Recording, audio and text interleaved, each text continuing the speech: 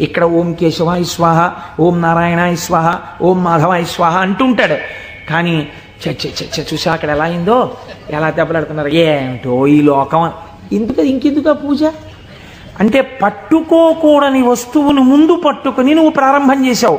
మనస్సు చించలమైంది. దానికి సాత్విక భావనతో ప్రారంభం చెయ్యాలి. పరమ సత్వగుణ ప్రధానుడై స్థితికారకుడై మీ మనస్సుని ఆహ్లాదపూరితముగా ఉంచి ఉంచి ఈశ్వరాభిముఖం చేయగలిగిన శక్తి విష్ణు శక్తి. అందుకని విష్ణునామంతో రోజు ప్రారంభం కావాలి. కనుక ఇది మీరు నిత్య జీవితంలోకి మహేశ్వర స్వరూపాన్ని తెచ్చుకోవలసినటువంటి విధానం. ఇప్పుడు ఈ మహేశ్వరుడు మీరు మామూలుగా వాంగ్మయ రీత్యా చూసియా చూసినప్పుడు ఈయన నియంత నియంత అన్న మాట నేను తేలికగా ఎందుకు వాడేశానో తెలుసా అండి? అది పౌరాణికమైన భాషలో వాడబడిన మాట కాదు. నువ్వు ఇలా ఎందుకు చేశావు అని వేరొకరు అడగలేనివాడు. ఈ ఈశ్వరుడు యొక్క స్థితి వస్తువును ఆయన మీకు దూరం చేయాలి మీ చేత ఏడిపించాలి. అది ఆయన తప్ప ఒప్ప.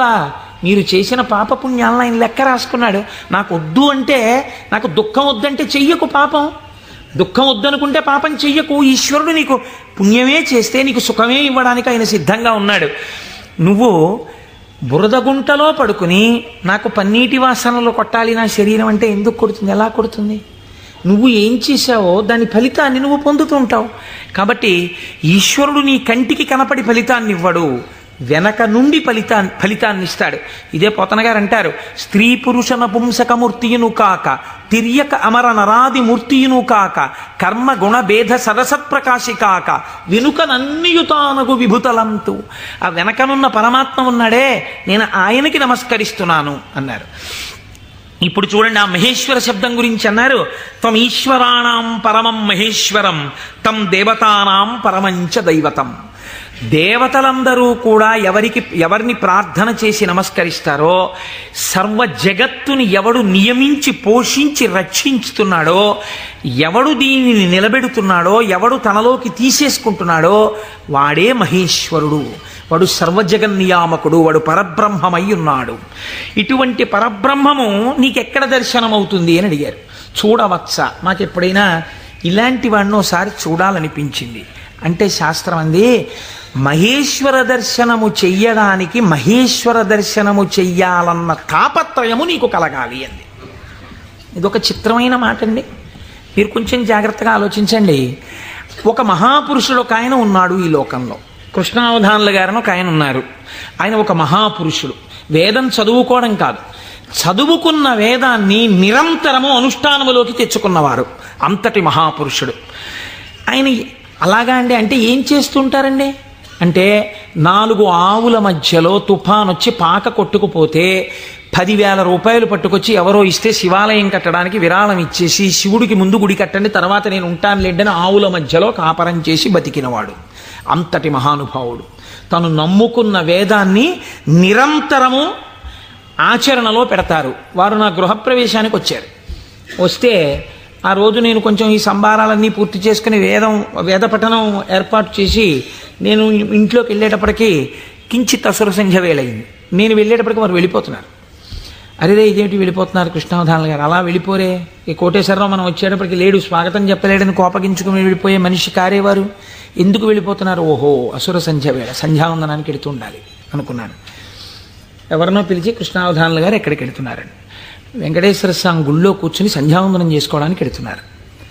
ఆయన సంధ్యావందనం చేయలేదనుకోండి మీరు నేను అడుగుతామా? అయ్యా మీరు సంధ్యావందనం ఎందుకు చేయలేదండి అని ఎక్కడ నుంచో కష్టపడి కాకినాడ వచ్చి ఆ వేళకి మాత్రం సభలోంచి లేచి వెళ్ళిపోయి వెంకటేశ్వర స్వామి గుళ్ళో కూర్చుని సంధ్యావందనం చేసుకుని మళ్ళీ తిరిగి వచ్చి సభలో కూర్చున్నారు ఆయన. ఇది తాను చదివినటువంటి వేదాన్ని తాను తెలుసుకున్న విషయాన్ని ఆచరణలో పెట్టడం. దీనిని శ్రద్ధ అంటుంది శాస్త్రం. నీకు చెప్పడం కాదు నీకు అనుష్ఠాన పర్యంతమునందున్నదా దీనికి ఎవడో చూస్తాడని కాదు. ఈశ్వరుడు సర్వసాక్షి చూస్తున్నాడన్న బెరుకు నీకుంటే ఒకడు చూసి మెచ్చుకోవాలని నువ్వు చెయ్యవు నీ చెయ్యడం నీ విధి అని నువ్వు చేస్తావు. ఇప్పుడు నువ్వు అటువంటి మహాపురుషుడు ఒకడు ఉన్నాడు నువ్వు తెలుసుకున్నావు. ఇప్పుడు మీ మనస్సు ఏమవుతుంది? ఎప్పుడైనా కృష్ణావధానుల గారిని చూద్దామనిపిస్తుంది. కదండి? ఇప్పుడు రేపు సుబ్రహ్మణ్యేశ్వర స్వామి వారికి మనం ఇక్కడ ఉత్సవం చేయబోతున్నాం. ఆ సుబ్రహ్మణ్యేశ్వర స్వామి వారికి ఉత్సవం చేసిన రోజున కారు దిగి నడవలేక నడవలేక శిష్యులు పట్టుకుంటే కృష్ణావధానులు గారు వచ్చి ఇక్కడ కుర్చీలో కూర్చున్నారనుకోండి. మీ ప్రయత్నం లేకుండా వారు కోటీశ్వరుడని కాదు వారు పెద్ద ఆఫీసర్ అని కాదు మోకాళ్ళ మీదకి పంచె కట్టుకుని లాల్చీ కూడా వేసుకోకుండా ఓ ఉత్తరీయం కప్పుకుని గుండు చేయించుకుని పిలక పెట్టుకుని మూడు విభూతి రేఖలు పెట్టుకుని బొట్టు పెట్టుకుని సరిగ్గా కనపడక కళ్ళు చిప్పిలించి చూస్తున్న కృష్ణావధానులు గారు అడుగు తీసి అడుగేస్తుంటే మీ అందరి చేతులు ఇలా అంటాయి. ఎందుకంటాయి? ఆయన ఒక మహాత్ముడన్న ఎరుక మీకు కలిగింది. ఈ ఎరుక లేకుండా మీరు దర్శనాన్ని వాంఛిస్తారా? మీరు ఒకసారి ఈ శివమహాపురాణాన్ని విందామంటే ఒక కథ కింద వినే ప్రయత్నం మీరు చేయకండి. అది మీ జీవితాన్ని అభ్యున్నతి మార్గంలోకి తీసుకెళ్ళదు దాన్ని మీ నిత్య జీవితంలో మీకు ఎలా ఉపయోగపడుతుందో మీరు ఆలోచించండి. పరమాచార్య స్వామి ఎక్కడ మాట్లాడినా ఎప్పుడు మాట్లాడినా అలాగే మాట్లాడేవారు. ఎప్పటి కథల కింద వారు మాట్లాడేవారు కాదు. ఇప్పుడు నీకు ఎలా పనికి వస్తుందో వారు మాట్లాడేవారు. అది ఒక సద్గురువుకు ఉండవలసిన లక్షణం. అందుకే నడిచే దేవుడు అయ్యారు మహానుభావుడు. కాబట్టి చూడండి ఇప్పుడు మీకు కృష్ణావధానులు గారు అంటే తెలిసింది. వారిని చూడాలి అనిపిస్తుంది. ఉదాహరణకి వారు రాలేదనుకోండి సుబ్రహ్మణ్యోత్సవానికి. ఎందుచేతనంటే వారి శరీరం చాలా డస్సిపోయింది పెద్దవారు అయిపోయారు. కానీ మీకు మీరేమంటారు? కృష్ణావధానులు గారు ఎక్కడ ఉంటారంటే ఒకసారి వెళ్ళి మేము దర్శనం చేసుకొస్తాం అంటారు. అమ్మ ఈ టైంలో వెళ్ళండి ఈ టైం కాకుండా వెళ్ళకండి వారికి ఇబ్బంది పెద్దవారు అయిపోయారు. ఈ సమయంలో వెళ్ళండి దర్శనం ఇస్తారు మీరు ఏం చేస్తారు? ఇంత డబ్బు పాడు చేస్తున్నాం. పోతే పోయింది కారికి ఓ ఐదు వందలు పెట్టుకుని వెళ్ళొద్దాం. అని ఒక ఆదివారం నాడు పొద్దున అలా కృష్ణావధానుల గారి దగ్గరికి వెళ్ళొచ్చిన వాళ్ళు ఎంతమందో నాకు తెలుసు.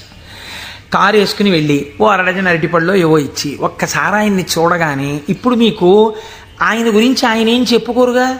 కానీ మీరు ఆయన్ని చూస్తుంటే ఆయన కూర్చుంటే మీరు ఎక్కడి నుంచి వచ్చారమ్మా అని అడుగుతుంటే ఆయన ఏదో నాలుగు శ్లోకాలు చెప్తుంటే ఆ గొంతు తడబడిపోతుంటే పెద్దవారైపోయి వారు మాట్లాడుతుంటే మీ మనసు ఆర్ద్రమైపోతుంది. మీకు తెలియకుండా మీ కన్నుల వెంట నీళ్ళు కారుతాయి. అబ్బా ఏం మహాపురుషుడు ఏం మహాపురుషుడని పటికి బెల్లం తినేసిన నోరు తీపిగా ఉన్నట్టు మళ్ళీ కారెక్కి వచ్చేస్తారు ఇంటికి. ఎందుకు వెళ్ళారు ఆ ఊరు ఐదు వందలు కారు చేయించుకుని?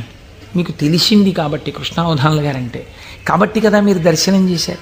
మహేశ్వరుడు అంటే సృష్టికర్త స్థితికర్త ప్రళయకర్త. అని నేను మాట చెప్పాను అనుకోండి. అది మీకు ఏం ఉపయోగపడుతుందని నేను ప్రశ్న వేస్తున్నాను. మీరు ఆలోచించండి. నేను ఈ మాట అన్నాను. అనుసంధానం మీరు కాలగతంలో ఒక రోజులోకి తెచ్చుకోండి. మీకు మహేశ్వర దర్శనం కలుగుతోంది అన్నాను.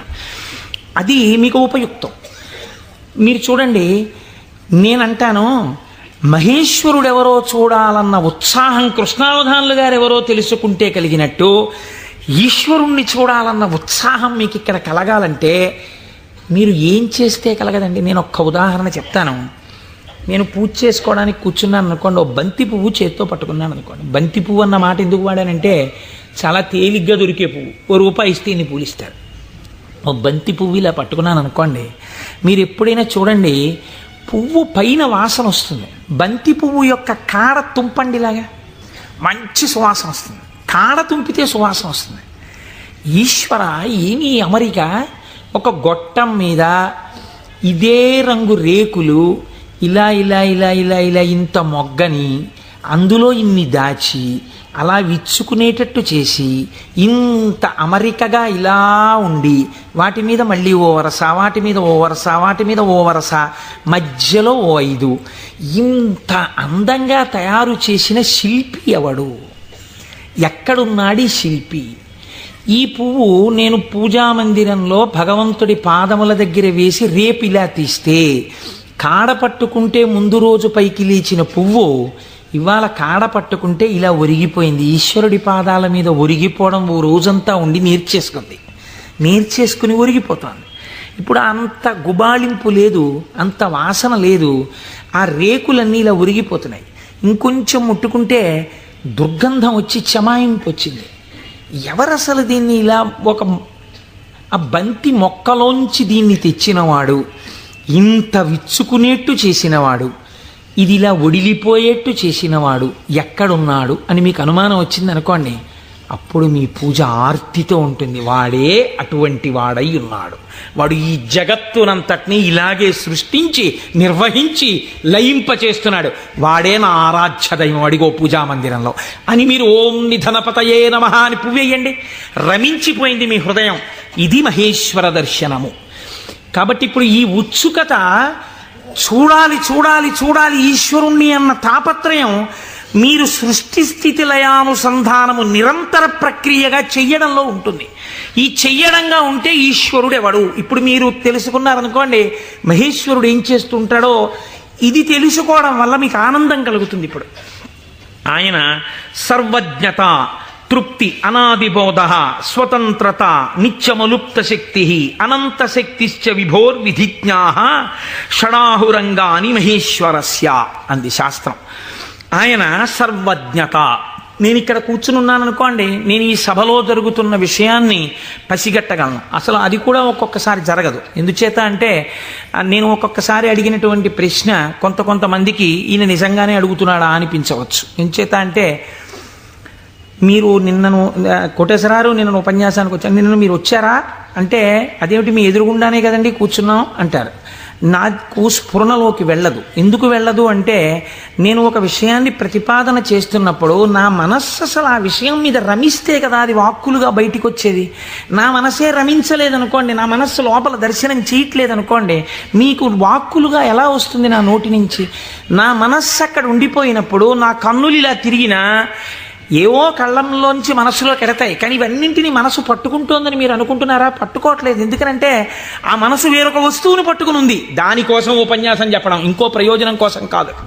ఇలా కూర్చుంటే కాసేపు పట్టుకుంటుంది ఆ వస్తువునని కాబట్టి ఇప్పుడు అది పట్టుకుని ఉంది. కాబట్టి ఇది పట్టుకోదు.